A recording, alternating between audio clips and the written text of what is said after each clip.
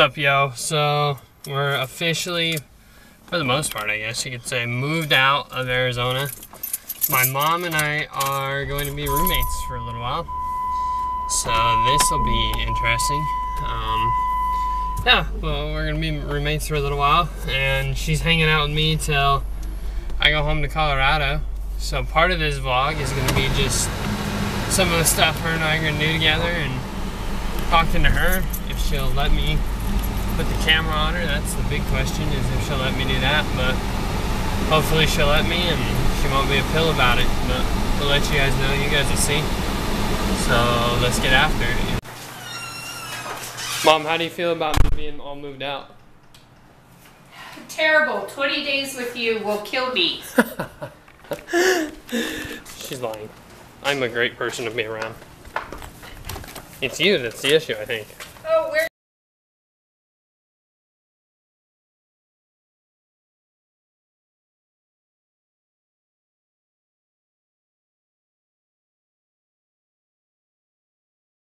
Yeah, so I have to drive, and I highly doubt. Ooh, camera's a little dirty. That's a great shot. Uh, highly doubt my mom's gonna take videos, Why, so we're going to meet Jammer. My cooler. What are you yelling at me for? Thanks for taking my cooler. I don't care. I don't care. No. So we're off to meet Jammer, go swing a little bit, and just have fun with it.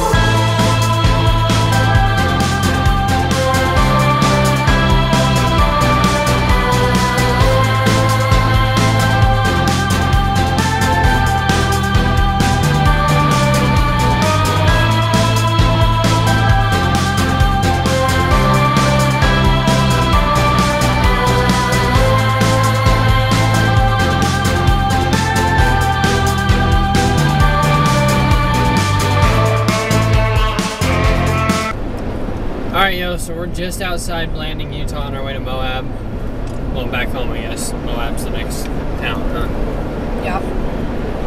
Got a special guest. Mom's on here. Mom, tell them about yourself. A little bit about yourself, you know, where you grew up, all that good stuff. Let's go. See ya. See how well you did this. Kyle did this really well, so pressure's on. I grew up in Fruita, Colorado. Weird. Spent my whole life there. Where'd you go to college, all that? UCCS in Springs, which we will be beating Jace. I mean, I will slightly cheer for pilots. So Armac, played softball. What do you do now? Technically, I'm a teacher. Technically, you're a teacher. Do we need to go into detail, or should No. we just continue? Okay, we will continue. Basically, she hasn't done the work she needs to do. Anyways, so let's start with your high school years. Obviously, well, obviously I know. No, these people don't know, but I know. You always wanted to be a teacher. But when you got into high school, sports was a big part of you. That was the only part. It was the only part. Okay, there's that. Just talk about your sports and like what you were like as an athlete in high school. Lived and breathed softball, basketball. Went from one sport to another. Some mornings had practice for basketball, then would go play softball, and go back to basketball. And that's what I did for four years. You want to get the bragging out of the way now, or you- There is no bragging. when it comes to two state championships, there's no bragging. Well, only one I played in. 30 Okay. seconds doesn't count. You found out in the basketball one. So yeah, two state championships for Fruita, basketball, softball. Talk about getting recruited to Springs and how that worked, why and why you ended up choosing Springs over some of the offers you had. And I'll tell them what the offers were because I know you want them. So just why Springs? Colorado Springs was close to home and still far enough away to be out on my own. And how was it recruiting? How did you get recruited to Springs? How did Met the Springs come coach at a the um, All Star game and really liked her and new program and new start. the Colorado High School All Star game, correct? Yeah, the yeah. For softball, yeah. Oh, okay. Those are a lot of things that I didn't do, obviously. Um, I mean, so you chose Springs because it was closer to home over offers from what was it, Hawaii, Utah. Was it Nebraska Kearney? No, Nebraska Kearney wasn't part of it. no, But those were your two main Division One offers. yes. So people, I could be living in Hawaii right now, okay? Instead, I live in Colorado. Let's just get that out of the way. so then, after your four years at Springs of softball, and God, I don't even want to go into the, all the accolades that you had there there's too many to freaking count. After that, what was the decision? Where, what you, where did you go from there after UCCS? After your four years of playing were over, where did you go from there? Came home to Mesa, did a little coaching at Fruita Central, Grand Mesa Little League, and then got my teaching license and headed to Greeley. Taught there for three years, followed a friend of mine to a new school in Jeffco, and then finally got a job back in Grand Junction. So, ju- we, you know, just a few Q and A questions here, and then people have actually asked me these questions about you, and then I have a few of my own. I'm gonna get the burning one out of the way because I'm really curious. Would you, if a softball job in the valley came open, would you take it? Nope, too Why not? busy traveling to watch a child play. So people are gonna stop calling you and asking you to take the job, so I'm gonna take it. Probably not, but you guys need a softball coach, Colorado. Anyways, um, the other question that people want to know in your household, obviously Papa won a state championship as well. And your uncle was on the and team. My uncle, my Uncle Bo was on the team as well. But in your household growing up, who was the best athlete in the household? Between your uncle and I, And you can throw Papa in there too, because he was an athlete. We know that. Grammy. Grammy. She didn't even play no sports in high school. What you mean? She was all that. She was all that, so she was the best athlete Yeah. in the house. Even over you? Yep. Shit. Okay, let's go to the household right now. We're not gonna ask the athlete question yet. That's later. Who's the best cook in the house? In our Kenton household right now? not me. Kate probably. Probably can't. Dad just went under the bus. he gone. See you later, bro. oh my gosh. Wow. Did you enjoy our time in Arizona minus the heat? Oh my, the heat was awful. Heat was awful. It was terrible. Actually, only two of the games were miserable. yeah. Yeah, it was fun. Got a lot of uh, binge watch watching uh, done. We did. There was really nothing to do. yeah, we could have went outside and roasted like little marshmallows. It's 115 outside daily. It's terrible. Let's see. I'm trying to think of what else to ask you here. If you weren't teaching, obviously, I said earlier you wanted to be a teacher your whole life, but if you weren't teaching, what would you be doing? CSI. Getting away with murder. Got it. Okay. Noted. Yep. Growing up, athletes that you admired, people that you admired, who were they? Lisa Fernandez. UCLA. Yep. Todd Hill. Legend. Over Jennie Finch, too? You Jennie Finch wasn't in my childhood, I dear. guess that's true.